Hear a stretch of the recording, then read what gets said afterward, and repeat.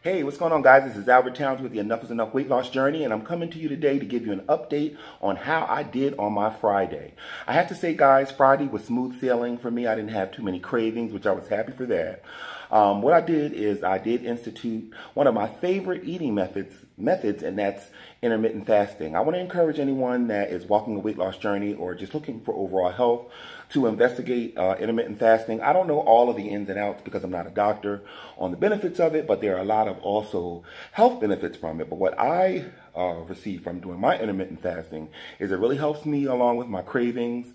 Uh, when I'm actually walking a uh, weight loss journey, I'm going to be following that method of even eating uh, when I enter into my maintenance of uh, my weight loss journey, any muscle building.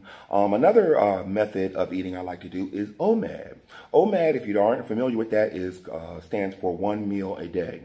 The reason why I like OMAD and when I actually use OMAD on days that I'm really not hungry, then I usually will institute an OMAD meal. Or if I'm going to be going out with some friends or family and I know that I'm going to uh, be tempted by some things that I really would like to eat, then I do an OMAD meal so that I can have whatever I want.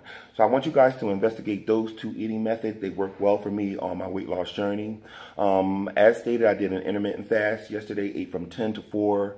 Uh, I had 1,600 calories, 100 carbs, and the only working out I did was a 10 mile bike ride. But guys, I am feeling good. I want to remind myself on my daily journal vlog that Albert, consistency is key uh, along this journey. If you remain consistent, then you'll get to your destination.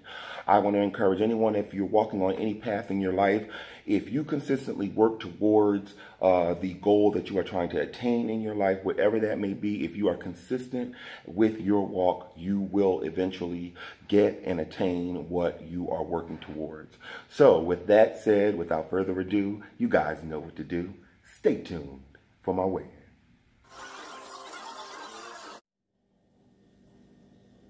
Hello.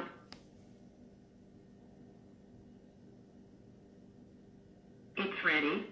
Today's date is March 14th of 2020, and here's my March 14th weigh-in.